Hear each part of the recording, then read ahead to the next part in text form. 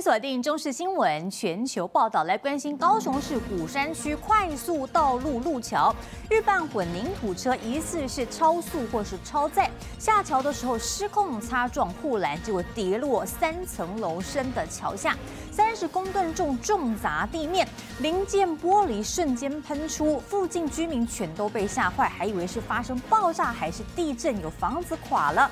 出来查看，发现驾驶已经被车头压住，满脸是血，当场没有呼吸、心跳，送医急救，伤重不治。而隔音板的碎片也砸伤了骑车的一对阿嬷和孙女，当场摔车，幸好只有皮肉伤。预拌混泥车左侧翻覆，车身严重变形，几乎快解体，机油流满地，驾驶被车头压住，满脸鲜血，已经没有呼吸、心跳。满地碎玻璃零件，还有断掉的树枝。就在十四号中午，高雄市鼓山区，U 半混凝车从三层楼高路桥擦撞护栏后翻覆，从天而降砸落，瞬间仿佛天摇地动。很大声啊，很大声的这样子，砰砰砰砰这样会掉下来，像很像房子爆炸那种东西，全部一口气砸下来。我们以为这边房子还是地震，还是有震裂。U 半混凝车驾驶送医伤重不治，被撞毁的隔音板砸伤骑车路过的一对阿妈和孙女，好险只有。受到轻伤，但类似车祸已经不止第一次。同样是预拌混凝车，因为超载刹车失灵，擦撞护栏检视成功。还要再了解啊，是不是有车速过快？啊或者是有超载载重的这个状况，初步怀疑预拌混凝车疑似车速太快，再加上超载，才会下桥时失控翻覆。再看看当时砸落惊险瞬间，好险机车组已经先通过，否则后果十分严重。记者洪夫人王淑红高雄报道。一辆载着挖土机的大型连接车，下午三点多行经台中市向上路六段，疑似是刹车失灵，整辆车失速冲撞了等红灯的两台轿车，还有路边停放的三辆摩托车，最后撞上了槟榔摊，才终于停下来。幸好驾驶及时打开车门跳车，只有受到轻伤。不下门啊！拖板车疑似刹车失灵，失去控制，一路往前滑。驾驶开门跳车后，整台车撞上路边好几台停放机车。机车被撞上，翻滚好几圈，扬起白色烟尘。驾驶也赶快从对向冲到人行道，坐在地上，表情痛苦。这是真的靠啊！我我把你落去看嘛呀！十步啊！啊无哩，还是我惊惊弄着人啊！意外现场一片狼藉，拖板车头歪了一边，上头载的挖土机因为强大撞击力掉到地上，路边标志杆红绿灯连根拔起。手机要拍光遐照啊！哎呦，袂包看呢，来到我门口啊，紧走哦！好损失啊偌济啊？哦，要一二十万吧。疑似刹车失灵，二十五岁邓姓驾驶一共撞上两台轿车、三台机车，最后卡进槟榔摊才停下。我们停红红灯啊，他就突然就后面一直被追撞啊。我就我就突然就砰砰砰砰砰，好像在推挤的时候，我就。事发下午三点二十八分，台中向上路六段是一段长下坡，拖板车驾驶发现踩不到刹车，机警跳车保住一命，也幸好冲上人行道时没有路人经过，否则后果难以想象。记者黄胜富、李云杰，台中报道。台北市士林区建潭路承德路四段口的社区大楼，昨天晚间因架突然崩塌，一楼的甜点店门口被大量的瓦砾堆给堵住，导致店员和顾客一度受困。据了解，大楼正在施工要拉皮，当时疑似是强风导致因架不堪负荷，所幸没有路人遭到波及。女子在甜点店购物，只见大门突然剧烈摇晃，下一秒。巨响长达五秒，女子整个吓傻，动也不动，还以为发生地震。但换个角度，原来甜点店外刮起一阵大风，没多久上方阴架整个掉落。十块土堆轰的一声倾泻而下，整个外墙崩塌，烟尘弥漫，甜点店瞬间被瓦砾堆封死，店员和客人吓到不知所措，只能静待救援。至少有三四吨，整个都是沙死，下来一定是雾蒙蒙。台北市士林区建潭路与承德路四段口一处社区拉皮工程，十三号晚上外墙突然崩落，路过民众直呼，早在下午就听到有瓷砖掉落，还有人说应该是外墙瓷砖敲除后没有定期清运，重量太重才会掉下来。撑住这个店面的时候，早就知道说。我们这一栋大楼要拉皮，它要留一个进出口，所以它的工房只能是加强三角钉，承重量可能会比较弱。实际回到现场，仍有拳头般大小的砖块频频落下。这栋三十八年老旧大楼，原本一楼是地标店面麦当劳，歇业后空了两年，由甜点店进驻，没想到才刚试营运就发生惊魂意外。监管处目前也勒令大楼停工，要检查是否做好防护，避免惊悚意外再度上演。记者陈世炼、张贝子采访不懂。新北市新庄这一名母亲酒驾骑车上路出车祸，结果儿子喷飞出去，当场骨折，妈妈竟然就丢下儿子肇事逃逸，让目击者全都看傻了眼。之后他自己再度发生车祸倒地，酒测值高达一点一三毫克。一大早，妈妈骑车载儿子出门上课，但整辆车左右摇晃，就在下一秒和对向机车擦撞，两辆车双双倒地，后座儿子重摔，妈妈安全帽也喷飞，孩子伤得不轻，到路旁休息。这时，妈妈竟然不见了，嘣嘣一下，两车相撞，声音很大声，就开始哭了。啊，尤其是那个救护车来的时候，哭得更大声。母亲安全帽一戴，油门一催，头也不回离开现场，丢下骨折的儿子嚎啕大哭。离谱母亲照逃丢包。随即又和另一辆机车撞个正着，这次总算栽跟头。新北新庄中和街上，十三号早上七点半，四十岁卢姓女子喝了三罐啤酒，在儿子上学。但先是撞击车肇逃，把手骨折的儿子丢路边，短短几分钟内再度肇事，警方对他实施酒测，竟然高达一点一三毫克。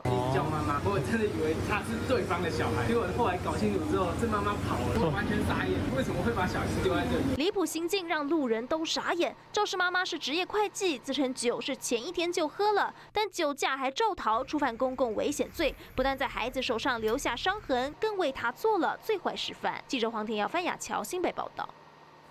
马来西亚籍的蔡姓模特儿来台湾读书，结果她遭到了杀害，而凶嫌自称是她的男朋友，两个人在交往中，还说啊，他饭后吞下大量的药物是要跟着一起走，向警方自曝杀害女友是加工寻短。不过我们独家找到闺蜜狠狠打脸，说这名陈姓男子根本不是男朋友。法医高大成也怀疑，恐怕是求爱不成，痛下杀手，痛批凶嫌谎话连篇。吉玉男拿着饮料零食一派轻松，要开车回家，根本看不出他刚犯下杀人罪行，杀害马来西亚小魔的陈姓男子从死者住处开车回英哥，没想到过不了多久，竟是在家吞药被推上救护车，他还诡辩是协助小魔轻生，但我们独家找到死者闺蜜直呼不可能。他不会是轻生，因为我有跟他约好礼拜五要一起上课，就男生想追女生，这次有在一起吗？没有。离开死者住家时一派轻松。陈姓范闲十二号中午进入后，当天傍晚室友还跟小魔说过话，直到范闲隔天离开，中间关键十八小时究竟发生什么事？吞普拿藤轻生的范闲醒来就说：“我杀了女友是加工轻生。”但不止警方和闺蜜驳斥男友身份，殉情说法更被打脸。他有自杀的意思，安走路。食迄个止痛药要自杀，佮唔死，佮敲电话老母来救，这完全没有实意嘛！伊钱都还没趁搞要死掉，不可怜嘛！这个是简直是大谎话嘛！你要讲求爱不成，从他恼羞成怒？高大成更点出，若真是加工轻生，不可能用勒紧太痛苦，后续得验有无安眠药、性侵、抓痕等迹象，若有其中一样，恐怕就是由爱生恨的杀人案。外形亮眼、兼做直播的被害人，仅剩三个月就能从民传大学毕业回国，如今却命丧台湾。这也是近三年内国内第三起马国年轻女子被杀案件，让当地网友狂轰。又有台模杀死大骂女生，但这次惊悚行凶背后动机至今依旧疑云重重。这姚立强、黄玉兰台北采访报道。嘉义一名老翁，他的机车钥匙一不小心掉进了排水孔，伸手下去想要捡起来，但没想到钥匙没捡到，整只手卡住，直接趴在地上动弹不得。他不好意思呼救，是路过的民众发现才赶快打一一九救人。画面当中也可以看到，这名老翁整个人趴在地上，非常的尴尬，右手却是卡在圆圆的排水孔里。消防队员在旁边是先用肥皂水和沙拉油想帮忙脱困，都没用。最后只好用电钻破坏了水泥地，那么消防人员还用棉被盖住了它，避免在钻地的时候受伤。经过一个多小时的抢救，才终于脱困，也找回了钥匙。高雄一名知名的高职呢，就有这个老师发现女学生在校园里面到处游荡，行迹可疑。但是，一查身份证之下，却发现这名女学生竟然是男生扮的，而且是台大的硕士学霸。他说是为了要舒压，在网络上购买了女生制服，才闯进了校园里，被警方依法送办。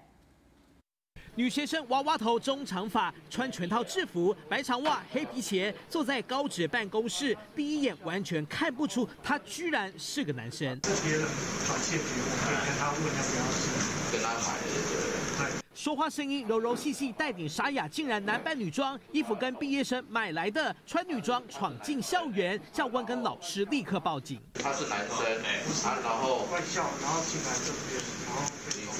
这是这是他的身份证。男扮女装闯校发生在高雄市区一所高职，嫌犯还是名学霸，从雄中正大到台大硕士，才刚毕业回到高雄。其实我我会买，女生不喜欢制服，女生的制服。他他怎么其他管道去买到这一套比较的制服？买女生制服闯进校园闲晃，被宿舍舍监发现，到底进学校想要干嘛？我其实只是来这边闲晃而已，是想要舒压一下。不要让这种校外人士进来会比较好，也有危险的成分在。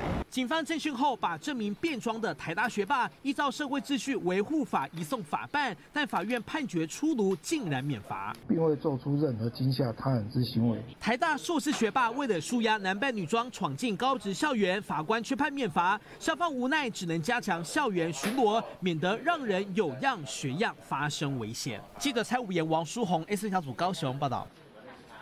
高雄有垃圾清运车发生意外，清洁队员十三号晚间在垃圾车行进之间，站在车斗一边要整理厨余桶，但他突然一下重心不稳，从车上正面摔下来，惊险十八秒钟的画面曝光相当惊人，幸好这名队员在送医之后没有大碍。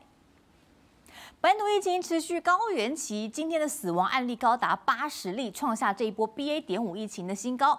黄立明医师呼吁，可以打 BA. 点万这个次世代疫苗的人就赶快打。据统计，次世代疫苗到现在目前为止累计接种有六十四万人次。指挥中心分析，一般在接种之后，如果身体不舒服，常见的有八大症状，包括注射部位疼痛，或是注射的部位肿胀、疲劳、头痛、发烧、嗜睡等等。另外，随着流感季来临，在今天也出现了第一例有长者没有打流感疫苗，结果感染流感并发重症身亡。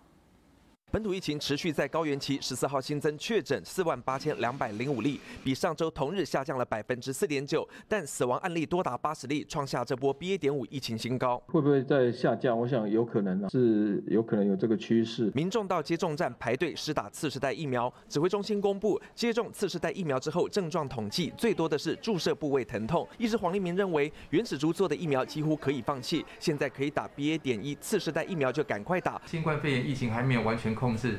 如果再加上流感的疫情，可能造成重症以及死亡率增加。罗毅军表示，BA. 点二点七五、BQ、XBB、BA. 点三点二零，随着边境开放之后，都有可能被陆续带回来。主要的症状依然难脱、咳嗽、喉咙痛、流鼻水、发烧。现在更出现了第一例流感并发重症死亡，是一名九十多岁女性确认感染 H3N2，呼吸不顺，当天病逝。医师黄立明提到，今年台湾不利因素有四项：病毒早到、流行病毒株为 H3N2、国门开放。以及防疫疲乏，三病一菌多重感染成为未来三个月的重大威胁。这些没有错，都是在我们秋冬季节哈，很容易流流行的这个呼吸道传染病一起去感染哦，当然也有这个机会。国外研究发现，肺炎链球菌合并新冠肺炎，三十天内死亡率提升八倍，疫苗保护力流感六个月，新冠是三到六个月，肺炎链球菌长达十年。我们因为严格防疫后，我们所欠下的免疫债，事实上在未来的几个月，特别是这个冬天。一定要偿还的。医师黄立明提醒，慢性病族群、吸烟者、经常外出的高龄族群，都应该要尽快接种相关疫苗，提升保护力，避免感染多种病毒引发重症。记者李晴、王一仲台北报道。南海的热带系低气压在今天下午两点生成了第十九号台风桑卡，不过对台湾没有直接的影响。另外有两个热带低压，最快明天白天陆续可能生成泥沙和海棠台风。其中菲律宾东方海面的热低压有机会是生成了台风就发布海上台风警报。气象局表示，依照目前的路径来研判，发布路警的几率很低，不过还是要观察路径以及暴风半径的变化。陈时中上节目接受访问时抱怨，他成了防疫失利的箭靶，甚至还说后悔当指挥官。台北市长柯文哲听到之后大笑讽刺，他说：“哪有人只享受光环却不想负责？”而陈时中为了要推政见，特别找了外国人来拍影片助选，没有想到一开口唠英文，却让网友听傻了眼。当初背着防疫指挥官的光环绕跑去选市长，如今高端喊防疫拉差，成了被攻击的选情破口。陈时中这么说：“我自己知道背满了剑靶，再有这样的疫情，你叫我接指挥官，我这我是不会接的，这我是不会接的。这意思难道是说自己不爱当官？柯文哲讽刺，别得了便宜又卖乖。你不能当时享受光环，然后现在说啊，我好会的，好，我后悔去当那个，我不行了，是吧？人人活在世界上，权利义务都相对的。陈时中肚子有没有料当市长？他说当市长要推国际事务局，还专门找外国人一起拍影片，但他说出口的英文却像是小学生课本才会有。呃，Hello，Hi everyone，Hey hi，Nice to see you，Hey hi，Good evening。How are you going？陈时中讲英文，全程低头狂看稿，连投给我都讲错。外国人热情提问，陈世忠用中文回答，却还是答非所问。外国朋友问他说：“有永久居留证的人是不是可以在台北市投票？”结果他的回答是什么？你知道？呃，我们做这个国际活动的目的不是为了赚钱。你在讲什么啦？因为有的外国朋友是听得懂中文的，他恐怕就算听得懂中文，也不知道你在说什么。当市长未必英文要好，但你连翻译都不找，独自狂搞英文秀，不知道老外们有没有听懂？记者黄君、徐国豪 S N G 小组台北报道。日本京都橘高校有“橘色恶魔”之称的吹奏部，双十国庆受邀来台演出，大受好评。这两天又有网友分享了几段掉鞋子的小插曲，当中最受瞩目的是一名竖笛手，在表演当中，他的鞋子意外掉了，但他非常的镇定，队形脚步一点都没乱，而且一边跳一边吹奏，还一边要注意鞋子在哪里，想办法用撸的把鞋子挪到自己的脚边，迅速穿上。不。不慌不忙的表现，网友都大赞，真的好厉害。橘色恶魔国庆前三校联合演出，这段掉鞋插曲再成讨论焦点。画面中，竖笛手跳着跳着鞋子掉了，他镇定自若，穿着袜子继续跳，边跳抽空把鞋子撸撸撸撸到脚中央，三二一，抓准时机，成功踩进。掉鞋过程不慌不忙，画面被抛网大获好评。但你不知道的还有这趴，穿不到二十秒，同一个人同一只鞋又再度飞了出去。他干脆放生，途中队友还不小心踢到，这谁的鞋算了，先踢去前面。助敌手就这样穿袜子跳了三分钟，最后是指挥帮忙捡鞋，而另一头的萨克斯风手也面对同样的状况。萨克斯风手也是跳一跳，鞋脱落，但他找不到时机穿，等到挥手谢幕，冲上前穿回鞋子，不知不觉当中就把那个鞋子给穿回来，我觉得很厉害，很赞，应变能力超强。两人的掉鞋小插曲也展现出橘色恶魔的高稳定度，碰上突发状况镇定自若，完成演出。就杨珊的锦城台中采访报道。店家公休但贴出来的店休理由让人笑破肚皮。有猪脚店说，因为猪脚被偷了，因此休息一天，让网友笑翻。有人就疯狂接龙说，那帝王姜母鸭这个公休是因为帝王驾崩，而大肠包小肠是双双肠胃炎，这样的理由刷了一整排。还有这一张让人一头雾水的菜单，像是昌仔蛋是什么意思呢？我们带你一块来看。香喷喷猪脚，有民众上门要买，却有老板贴出这一张。猪脚被偷没得卖，笑翻网友店修理由出逃几堆，网友也跟着歪楼刷一排。帝王姜母鸭，帝王驾崩了，永久歇业，大肠包小肠，双双肠胃炎休息一天。海底捞还没捞到，太阳饼今天阴天也没卖。臭臭锅昨天有洗澡洗香香，休息一天。凤梨酥今天凤梨营庆祝休息。要炖排骨，药头被抓到了，永久歇业。麻辣鸭血，鸭子贫血，休息中。一整排奇葩接龙，让人扯个冰斗。太阳没有升起来是不卖，鸭跑了，所以休息一天，就觉得很有梗啊。店修理由千奇百怪，这一张菜单也让人跨龙博。苍鸭蛋炒螺顺，炒炒笋。流顺吗？流顺是什么？我不知道哎。神秘手写菜单揭晓，苍阿能就是葱花蛋，牛肉炒硬菜就是擦硬菜炒空心菜，擦芦笋就是炒芦笋。哦，长阿能哦。阿 想不要起擦芦笋？刚刚第一个比较看不懂，那个葱葱蛋哦，长安能。长安能擦硬菜擦芦笋，用闽南语直接翻中文，真的太直白。记者黄迅金线中高雄报道。又到了屏东恒春半岛刮落山风的季节，有女骑士的安全帽被十级强风差一点吹走，她用手去扶，结果失控自摔，脚也被压伤。附近店家看到，赶紧帮忙挡车救人。那么其实每一年强劲的落山风都发生意外，吊桥变成了海盗船，游客是差一点摔下去。还有呢，这个半桌婚宴新人的妆法全乱，灯杆也拦腰折断，这风力真的相当惊人。女骑士骑车摇摇晃晃，突然车身打横，接着被强风吹到自摔，脚被机车压住，完全爬不起来。附近店家看到了，过来解围，把女骑士扶到路边，擦药消毒伤口。风吹啦，阿姨想要去安全帽啦。自摔地点在屏东恒春市区，刮起落山风。十三号当天，最大阵风来到十级，相当于轻度台风。恒春强力落山风闯祸可不止这一件。满洲吊桥被风吹到剧烈摇晃，如同海盗船，游客必须蹲下紧抓绳索，以免摔下去。还有半桌婚宴，帆布棚架被吹到就像快解体，新人宾客头发炸开，超狼狈，甚至发生灯杆拦腰折断，监视器也被吹断，强风中剧烈摆荡。被季风来袭，横春刮起强力落山风，民众外出到空旷地点要特别留意，以免发生意外。记者张创、王书红平东报道。新北市劳工局积极打造更好的就业环境，不但就业服务占全国最多，升账定额敬业率也是六都之冠，期盼新北市的劳权能够迈向更好的未来。挺青年的行动力。新北市劳工局十二号在市政会议进行报告，分享过去四年来的劳工协助作为。那为了方便我们劳工申请失业给付，我们在这四年新设的中和跟树林两个就业服务站。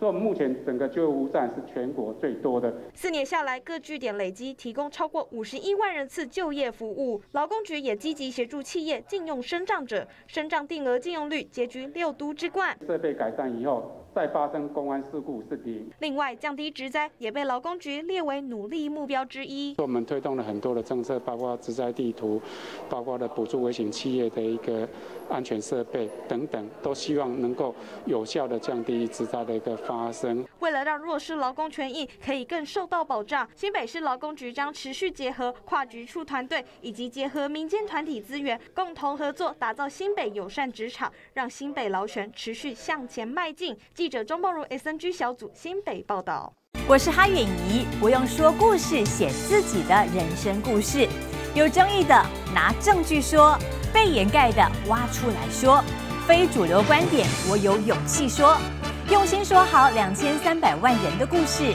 我是哈远怡，请锁定中视 YouTube 频道，记得帮我们按赞、订阅、分享、开启小铃铛哦。